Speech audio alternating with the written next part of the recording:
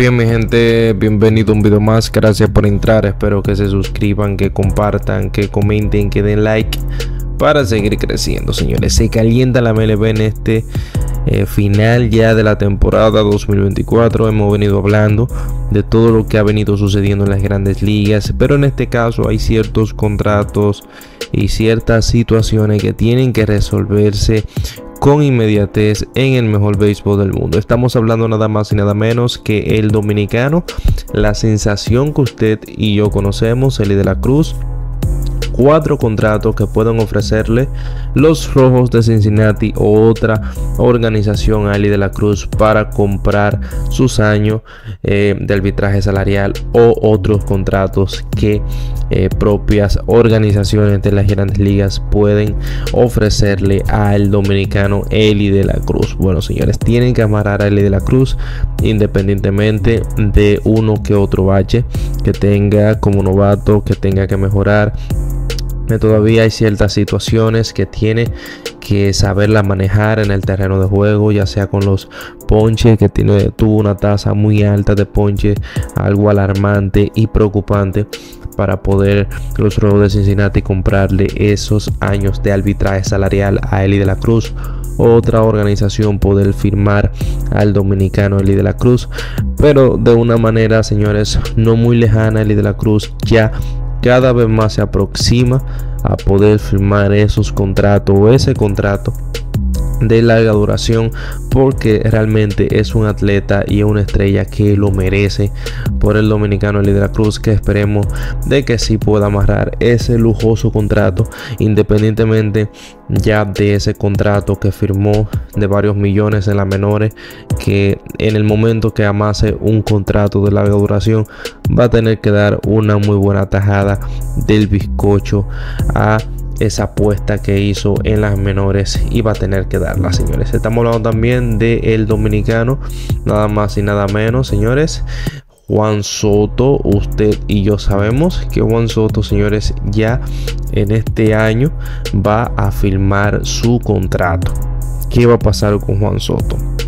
La carrera eh, de Juan Soto ha sido tan mediática y tan bien estructurada por Scott Boras y la cosa le han salido a flor de piel. Lo que eh, Juan Soto y Scott Boras han proyectado ha salido a la perfección.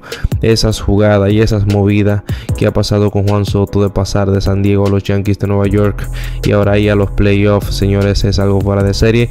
Con una eh, temporada de MVP la de Juan Soto, 41 jorrones, 200 y pico de promedio de bateo, impecable Juan Soto, pero el dominicano continúa entrando en territorio histórico con su producción durante la temporada previa a la agencia libre, que es alarmante para las organizaciones de las grandes ligas. Y se anda rumorando que Juan Soto puede firmar ese contrato de 700 un millones de dólares, señores, pasándole a Shohei Otani. Lo de Juan Soto en las grandes ligas es algo fuera de serie, señores, por lo que hemos visto hasta ahora. También estamos hablando nada más y nada menos que los Mediaroa de Boston van a equiparse y ahora sí van por todo lo alto por Teoscar Hernández. Habíamos visto a Teoscar Hernández dando ciertas declaraciones concernientes a su contrato con eh, los Boston Red Sox que no le ofrecieron lo que él esperaba, que no le ofrecieron el dinero que él esperaba. Eh, ahora mismo Teoscar Hernández ha dado la iniciativa para los Mediaroa de Boston porque propiamente dicho por él que ahora va a buscar un contrato de a perpetuidad con más años, más longevidad para el dominicano. Eh, de Oscar Hernández y los Mediarrojas andan buscando ese toletero que realmente represente a la organización pelotero que tuvo tiene una temporada de ensueño 30 y pico jorrones un buen promedio y produciéndole al equipo de los tuyos de Los Ángeles. Ha reiterado en varias ocasiones que Oscar Hernández quiere permanecer en la organización de los Dodgers pero de una manera u otra los fanáticos de los Mediarrojas de Boston están hablando por que oye razón sobre la adquisición del jardinero de Oscar Hernández como su gran adquisición de bate derecho de la temporada baja.